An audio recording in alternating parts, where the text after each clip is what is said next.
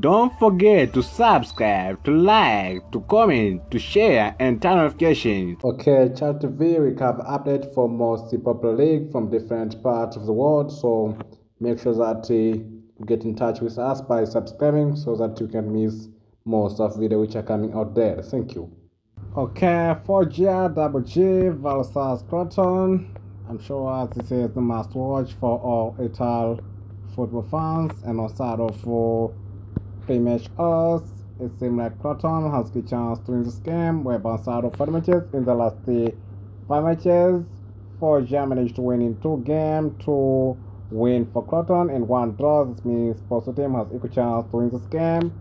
Recent performance for each team. Let's start with recent performance for Crotone, whereby in their last five matches, Crotone managed to win in three games, one draw, one loss. Good performance from Crotone. I'm sure they deserve it. That's why they're in a Lega Pro stage. And outside of Foggia, in their last four matches, Foggia managed to win in two games.